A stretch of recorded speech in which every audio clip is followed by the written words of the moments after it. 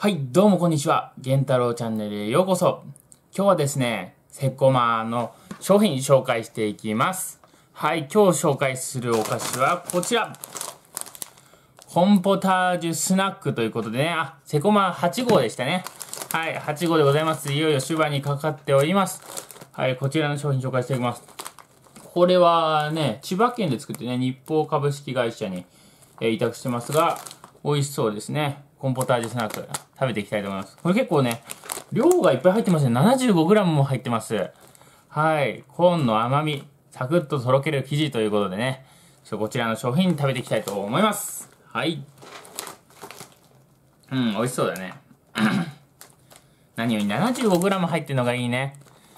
まあ、お値段はね、あの、普通の、あの、ポテトチップスとかね、そういう値段と変わんないと思うんですけどね。100、100いくらだと思うんですけど、あの、量がいっぱい入ってるというね。そこが嬉しいですね。中身はこんな感じでございます。お、ゴロゴロいっぱい入ってますね。いただきます。おう。んすごいコンポタージュの味がしますね。うん。甘くて、うん。サクサクとね、気軽に食べれますね。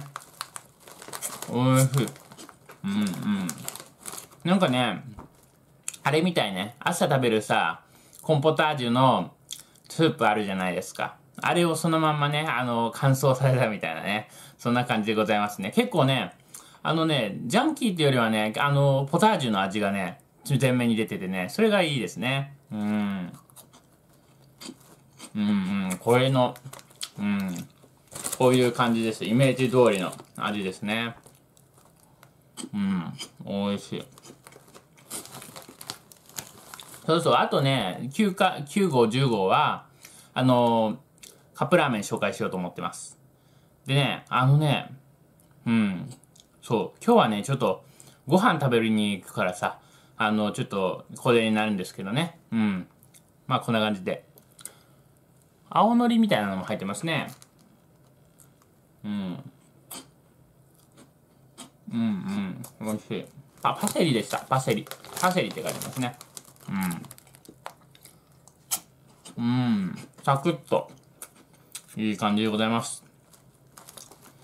うん。しかもね、飽きないね、これ。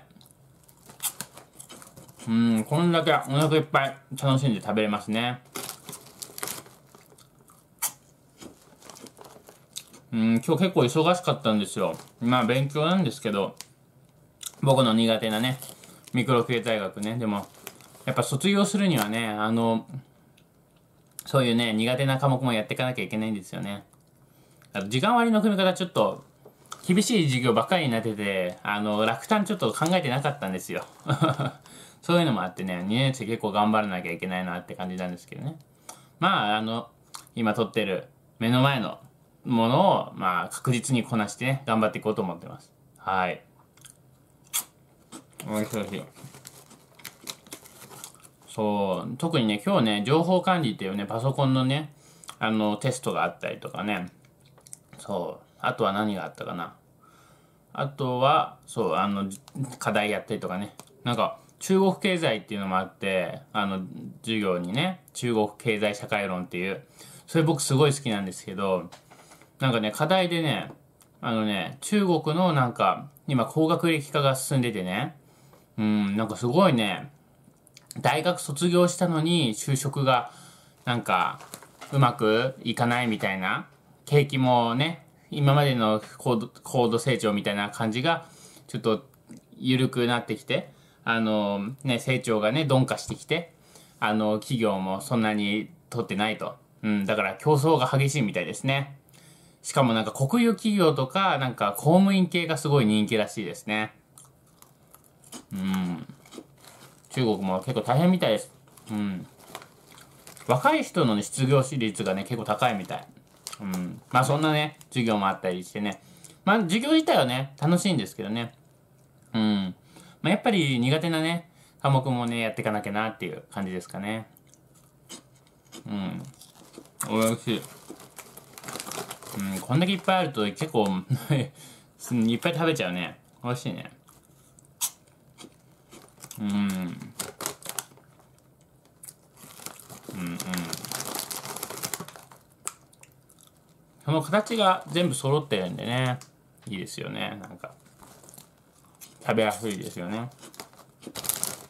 はい。ということでね今日はこちらの商品紹介してきました。ちょっと今日の動画短くなっちゃうかもしれないですけどまあ今日はねちょっと、この後用事もあるんで、あの、これぐらいにさせていただきたいと思います。はい、ということでね、コンポタージュスナックでございました。はいね、セコマの商品結構面白いね、あの商品もいっぱいありますのでね。あ結構ね、あの、楽しめるんでね、あの、ぜひ、セコマに北海道来たら、えー、食べに行ってはいかがでしょうかはい、コンビニ行ってはいかがでしょうかお土産とかもね、いっぱい売ってます。はい、ということでチャンネル登録、高評価、共有のほどよろしくお願いします。ということで、以上